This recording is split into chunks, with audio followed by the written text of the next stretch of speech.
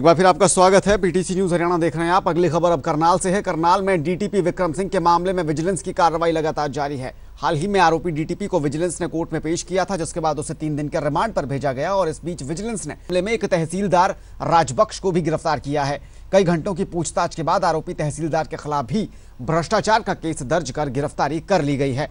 इससे पहले रिमांड के दौरान डीटीपी ने तहसीलदार से साढ़े चौदह लाख रुपए की साढ़े चौदह लाख रुपए एनओसी के नाम पर देने का बयान दिया था, जिस आधार पर तहसीलदार को हिरासत में लिया गया।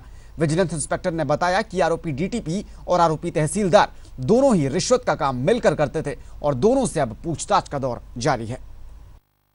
जो हमने ये डीटीवी साहब को पहले गिरफ़्तार किया है, उसी मुकदमे में तहसीलदार राजबख्श को गिरफ़्तार किया गया है।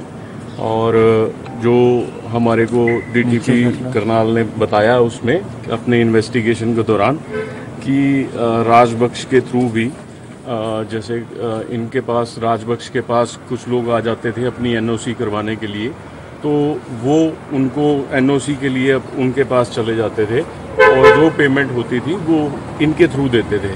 ऐसे ही जैसे डीटीपी साहब के पास कोई आता था और उसका रजिस्ट्री पेंडिंग रहती थी तो वो अपना इनके पास लाके रजिस्ट्री करवा देते थे और जो भी पेमेंट उसके हिसाब से उनकी आपस की बनती थी वो उनको पे कर देते थे। बेसिकली एक दूसरे से मिल के इस बात काम को किया जा रहा था।